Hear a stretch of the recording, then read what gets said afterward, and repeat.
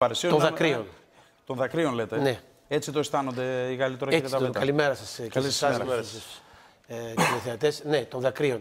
Ε, δακρύζουν για δύο λόγους. Ε, Δακρύζουν ε, γιατί ε, έχει να κάνει με την αισθητική και την ιστορία, τον πολιτισμό, αλλά δακρύζουν γιατί ακριβώς έχει, ε, έχουν πια το φόβο στη ζωή τους στην καθημερινότητα, γιατί ε, το πρώτο πράγμα που σκέφτηκαν όλοι ήταν μήπως υπήρ- ήταν αυτό τρομοκρατική πράξη.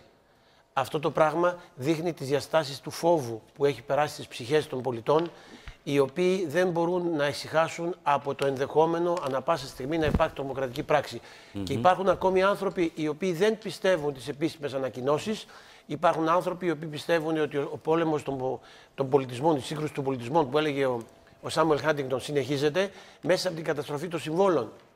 Άρα λοιπόν εδώ πέρα έχουμε ε, μια πραγματικά αναστάτωση των Γάλλων, ταυτοτική αναστάτωση, γιατί είναι η ταυτότητά τους, είναι ο πολιτισμός τους, ε, παγκόσμια κληρονομική πολιτιστική αναστάτωση, αλλά και ψυχολογική καθημερινή πολιτική αναστάτωση. Τι σημαίνει για τον, ε, Παρι- τον μέσο Γάλλο τέλος πάντων η Παναγία των Παρισίων; Είναι το σπίτι του, είναι η ιστορία του, η ταυτότητά του και η καρδιά του.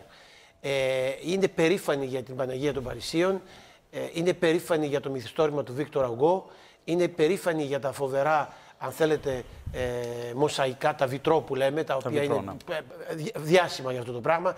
Είναι περήφανη για την πύλη τη μεγάλη που ακολουθούν άλλες δύο μικρές πύλες, η κεντρική, όλοι μιλούν για αυτά τα πράγματα.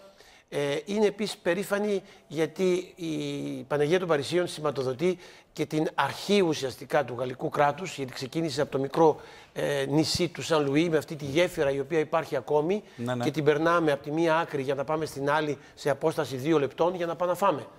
Και επίσης σηματοδοτεί ουσιαστικά και την αρχή της επερχόμενης νεωτερικότητας στον όλο τον λεγόμενο ευρωπαϊκό χώρο, όπου η Γαλλία υπήρξε προτεργάτης αυτής της νεωτερικότητας. Επομένως, κατανοούμε ότι από εδώ και πέρα η αποκατάσταση είναι νούμερο ένα θέμα στην, ε, στη Γαλλία. Ναι, μόνο που θα είναι μια αποκατάσταση πια, σύμφωνα με τα δύο δεδομένα που σας είπα. Αποκατάσταση κυριολεκτική, ιστορική, όπου εκεί θα πρέπει όλοι να συμβάλλουν, διότι αυτό είναι ο- η καρδιά των Γάλλων, αλλά και η καρδιά μας, ε, ενός από την καρδιά, από την καρδιά μας του σύγχρονου πολιτισμού, αλλά ταυτόχρονα να φτιάξουμε πάλι το αίτημα της μεγαλύτερης ασφάλειας που πρέπει να έχουμε στην Ευρώπη.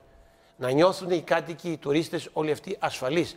Όχι να επισκέπτονται τα μεγάλα ιστορικά μνημεία και να έχουν μέσα τους το φόβο ότι ανα πάσα στιγμή θα υπάρξει μαζικό χτύπημα εκεί. Ακόμη και αν δεν είναι αλήθεια. Ε, δηλαδή. εδώ δεν προκύπτει πάντως κάτι τέτοιο μέχρι τώρα, κύριε Δεν προκύπτει, Δαβέτα. αλλά όπως βλέπετε είναι πάρα πολύ ε, σόφρονες ε, οι αρχές. Δεν έχουν ακόμη επίσημη τελειωτική ανακοίνωση, γιατί κανείς δεν ξέρει τι συνέβη, ποιοι εργάτες ήταν μέσα, πώς λειτουργήσαν αυτοί οι εργάτες. Δηλαδή, Ο λέτε, το φόβος- πρώτο πράγμα που πήγες στη σκέψη των Γάλλων ήταν. ε, ναι, ο τρομοκρατία. φόβος, ο φόβος της τρομοκρατίας, το οποίο είναι δυσάρεστο για να ζούμε σε μια εποχή.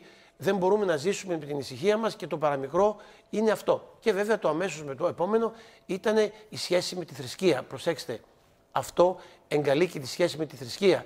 Αυτό κτίστηκε το κτίριο από τον ε, Πάπα, τον ε, ε, 7ο και τον Λουδοβίκο τον 7ο.